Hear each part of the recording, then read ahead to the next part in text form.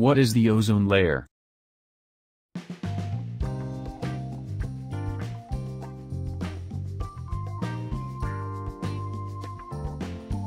The ozone layer is a deep layer in stratosphere covering the Earth.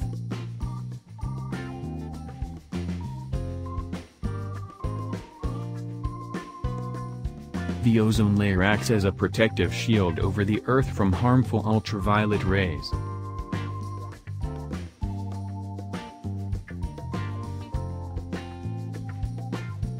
Have you ever wondered why we wear sunglasses every summer?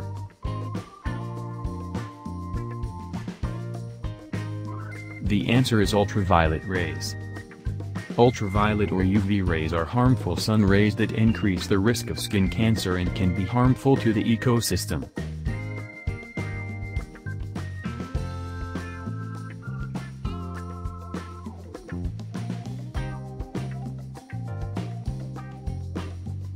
Life on Earth is protected from the UV rays by the ozone layer. The ozone layer is made up of high concentrations 3 oxygen atoms, ozone. This layer is 3 to 5 millimeters thick and is at an altitude of 20,000 meters. The ozone layer was discovered in 1913 by the French physicists Charles Fabry and Henri Buisson.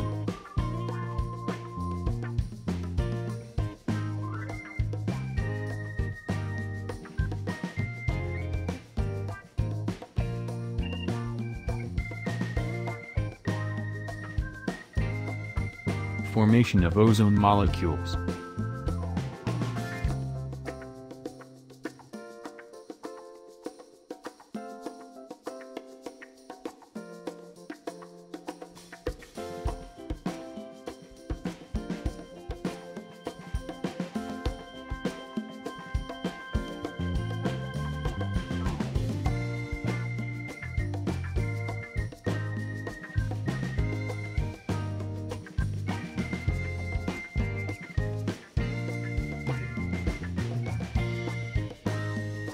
The ozone layer absorbs 97 to 99% of the sun's medium-frequency ultraviolet light, from about 200 nanometers to 350 nanometers wavelength, which otherwise would potentially damage exposed life forms near the surface.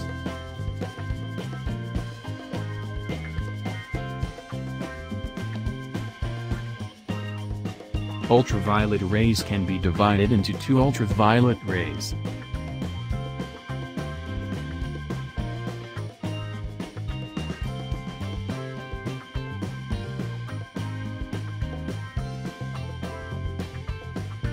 UVA. UVA is on a wavelength of 315 to 400 nanometers.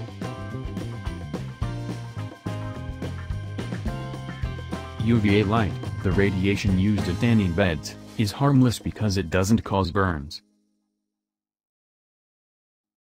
However, scientists now know that UVA light is even more harmful than UVB, penetrating more deeply and causing a deadly skin cancer, melanoma, and premature aging. UVB UVB is on a wavelengths of 280 to 315 nanometers. UVB is the cause of skin conditions like sunburns, and cancers like basal cell carcinoma and squamous cell carcinoma.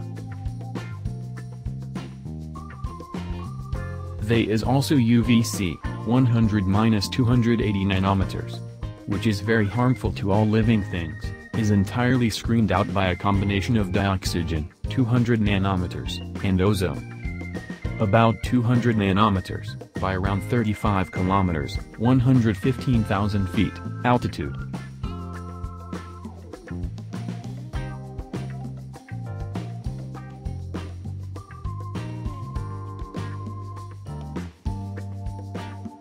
Our ozone layer is deteriorating.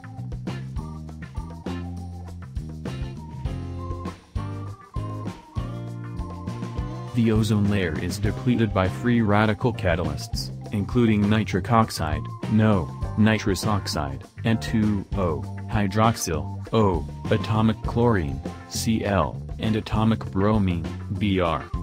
While there are natural sources for all of these species, the concentrations of chlorine and bromine increased markedly in recent decades because of the release of large quantities of man-made organohalogen compounds, especially chlorofluorocarbons, CFCs, and bromofluorocarbons.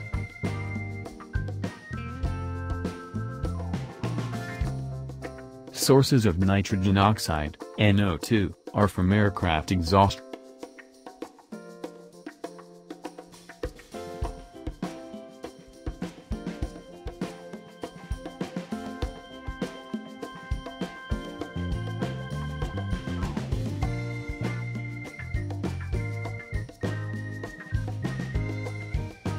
Sources of chlorofluorocarbons, CFCs, and bromofluorocarbons.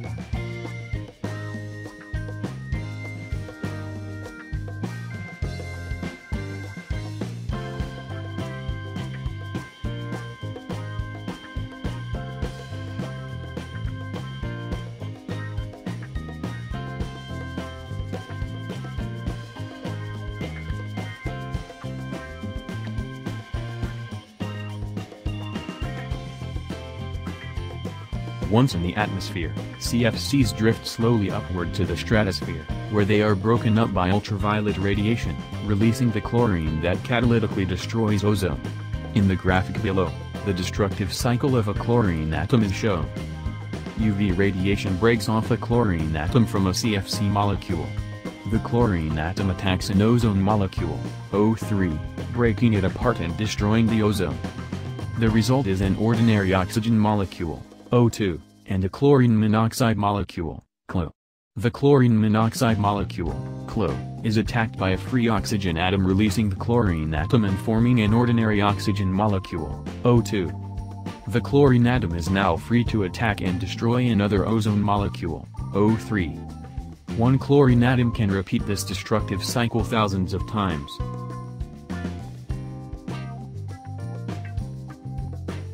They are huge holes in the ozone layer above both poles. They are not literal holes but just an area where the amount of ozone, the holes affect Antarctica, Australia, Canada and Northern Europe. The ozone hole has steadily grown in size up to 27 million square kilometers. The holes get wider in the winter and shrink in the summer. Can we stop the depletion of the ozone layer? Yes we can.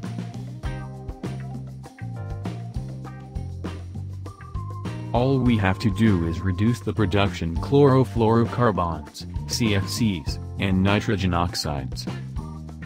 The ozone layer has slowly recovered as people, businesses, and governments work to control such pollution. Through an international agreement known as the Montreal Protocol on Substances that Deplete the Ozone Layer. Governments have decided to eventually discontinue production of CFCs, halons, carbon tetrachloride, and methylchloroform, except for a few special uses. And industry has developed more ozone-friendly substitutes.